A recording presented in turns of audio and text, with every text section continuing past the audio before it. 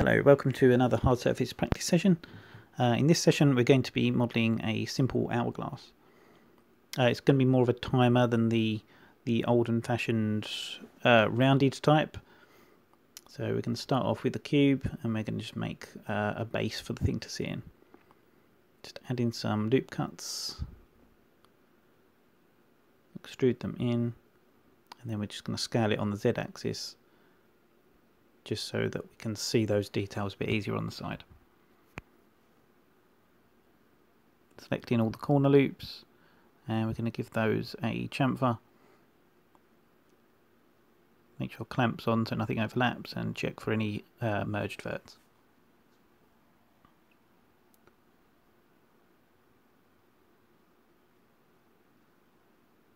Okay, next we're going to add uh, some sort of post for the corners to hold up the top part. So just adding another cube, scaling it down, excluding the z-axis. Uh, and next we are going to add some, we're going to add some loops so that we can precisely place uh, that post in a certain point on the corner. And we're just going to use Shift Z to exclude the Z-axis so we can move it to that exact vert. We're going to boolean these objects together in a moment.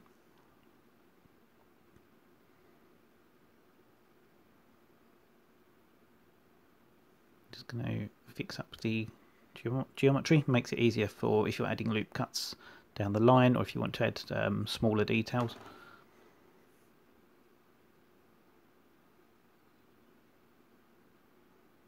Just going to get rid of all that mess on the bottom of the of the stand.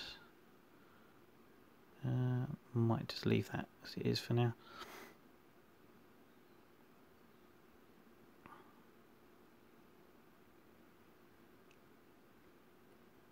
Okay, next we're going to mirror that across to the other four corners. Make sure to use bisect so that you don't end up with duplicate geometry sitting on top of each other. And we're just going to move these up. We're going to be using a mirror modifier on the z-axis uh, to basically duplicate it. So just add that on. Uh, if we adjust the origin point, we can change the height of the thing as a whole. That looks about right. I'm not working massively to scale on this one. Um, just want to do the modelling part and uh, try and just try and get something done rather than start and stop and start and stop, which is quite common when you're trying to record videos. Again, just fixing up the geometry a little bit here.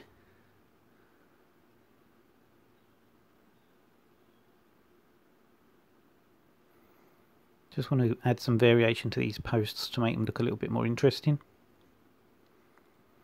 So I'm going to scale them in, excluding the z-axis, seems to be the theme for this video, uh, and then scale them a little bit on the z-axis just to change the angle of that part where it goes in. Okay, it's looking pretty good so far. Um, a lot of the time I'll, I'll add edge loops just to measure a midpoint or a third point part way up something just so that I can get a small detail I'm adding to be very precisely in that third or that half of something. So similar detail here to what I did on the base piece. Repeating details um, or echoing details is um, a good design principle in general. Um, it does tend to make things look like they're intentionally made that way because the person who made the posts wouldn't have made the base part any different.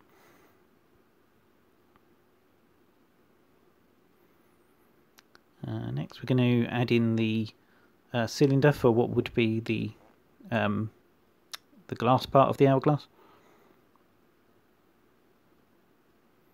I suppose it's more of a timer than an hourglass, um, but it's just a matter of semantics, I think that.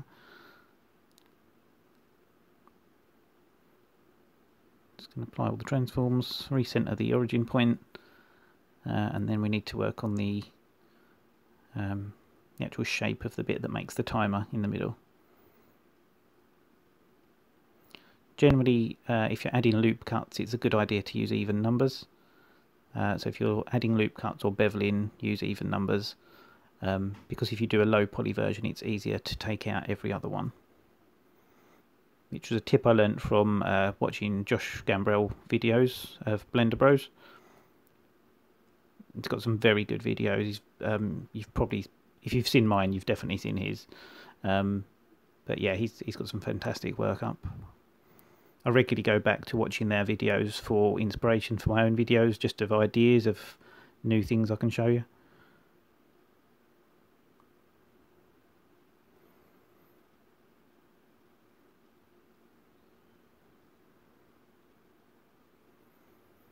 Going to fix up the shading a little bit on this, this hourglass.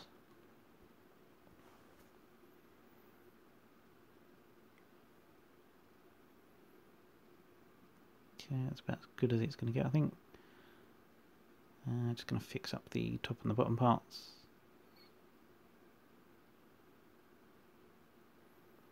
You can't see the very top and bottom anyway because they're they're largely cut into the thing, uh, hidden within the um, stand itself. I think it's just a case of habit half the time. I just fix things because I know that it'd bug me if I had to do something with it later and the topology was wrong. Yeah, it's looking pretty good, sat in there.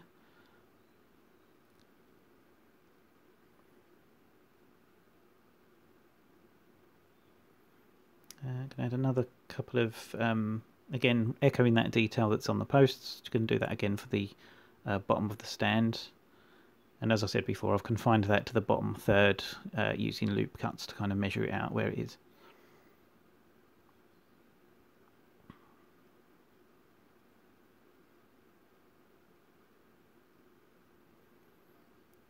Remember to mirror all that detail back up to the top as well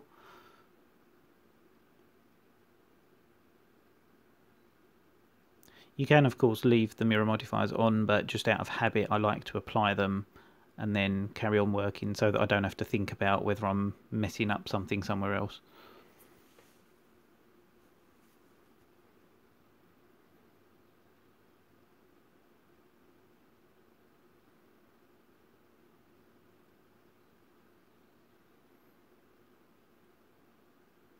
Just going to add a bevel to this piece.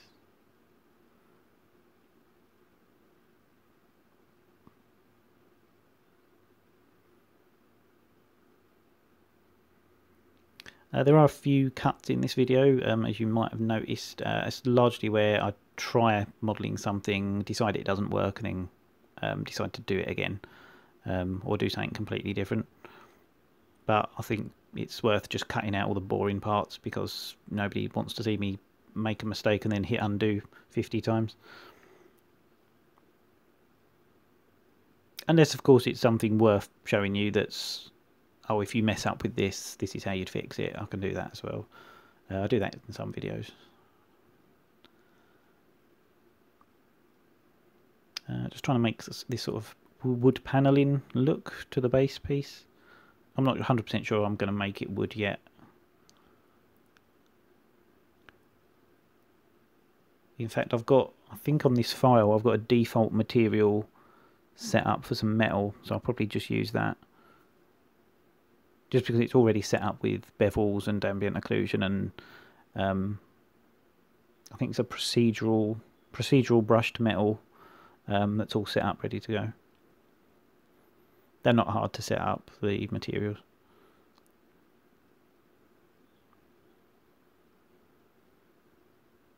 But sometimes I just go in and uh, have a play around with it and see if I can make a, a material that I will use for many purposes just because it's quite fun to play around with them.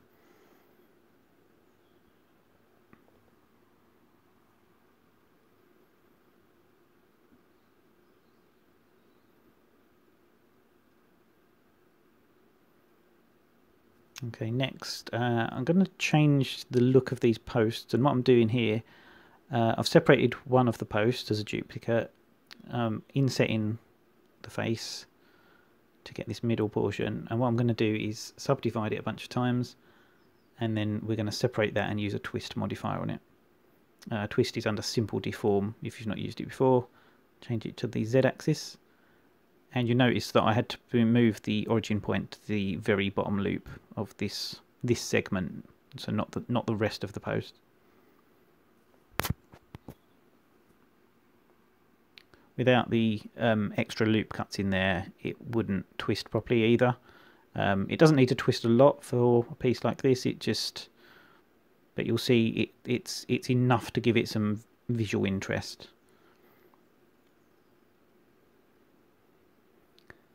Uh, I can mirror that across to all the other posts now.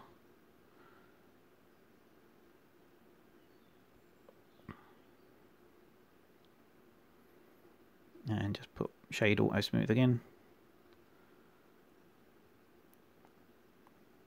Uh, one thing uh, to note, when I use the mirror modifier to put these other posts in, um, they they look obviously like reflections of each other, and I don't want that. I want them all to look the same. So I'm just going to copy them across now.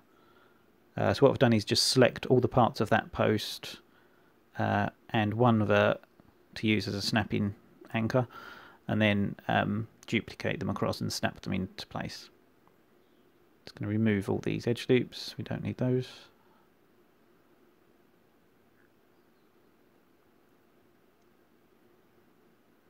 Okay, just uh, slight shading issue here. If I just turn down the auto smooth, that fixes that.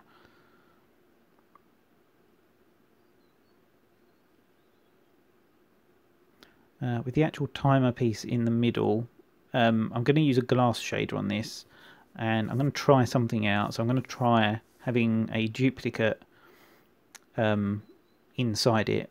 So I'm going to duplicate the outer mesh and then scale it down inside itself and then flip flip the um, faces to see if I can get that thicker glass look because the glass shader on its own doesn't really do a great job of doing that um, in my opinion um, glass looks always looks very much like it's just a surface thing like a almost like a bubble that the surface properties of a bubble where you get that sort of refracted rainbow color in it um, and that's not not what I want when I'm trying to make glass I want it to actually look like it's got some thickness to it. So just going to throw on that um, metal material that I made previously.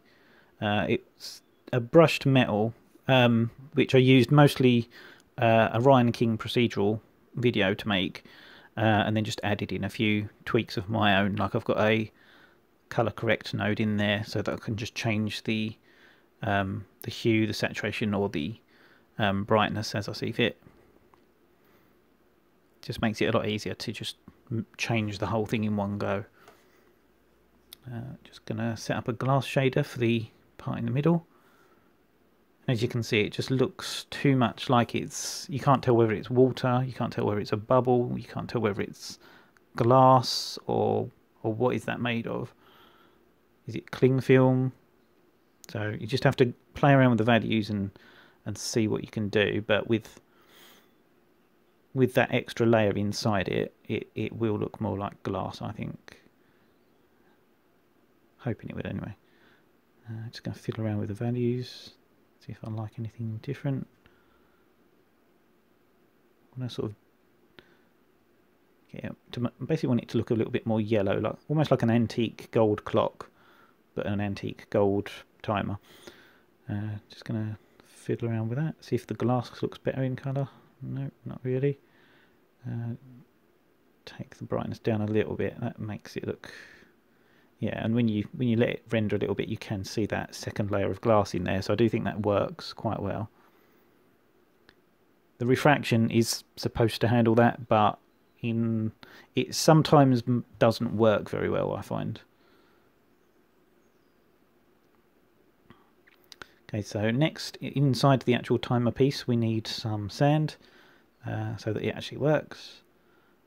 And what I'm doing is I'm, I've duplicated the internal part of the glass from the timer. And then I'm just going to cut parts of it away uh, to make the sand and just make it out of that.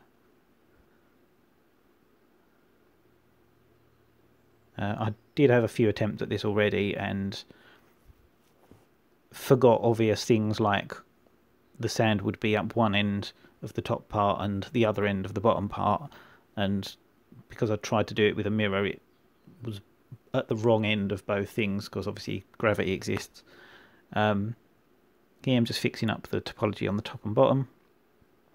I want it to have some some rounding on there because I like the, the the way sand sits in the bottom of these little timers. It does look sort of rounded usually.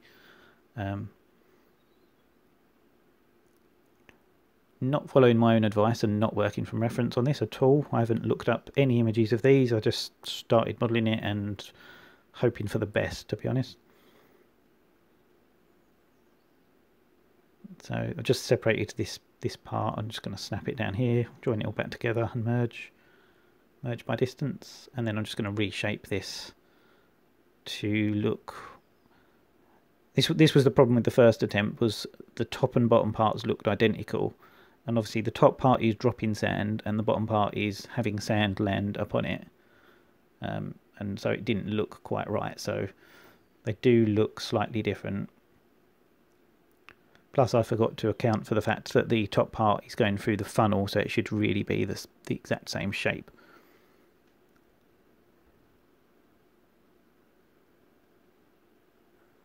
Uh, just going to throw on this sand material that I've set up. It's a very basic.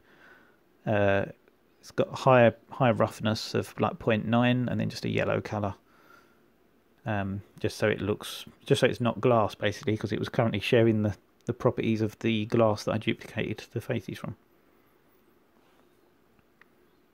Just trying to get that sand in the middle to be a thinner stream, even though the neck of the hourglass is quite thick it usually looks quite fine that that bit that drops through.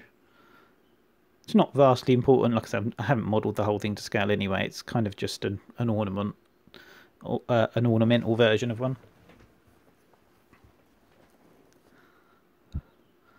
It's possibly quite annoying that there's some things I bother about realism on and some things I don't when I'm doing this. Um, I'm sure you'll you'll tell me if that's the case. Uh, so yeah, I'm just reshaping this bottom part now to hopefully make it look a bit more like the sand is landing on top, like a little mound of the of the sand in the bottom of the thing. Kind of looks a little bit like an upside down wine glass with a with a thick thicker top part.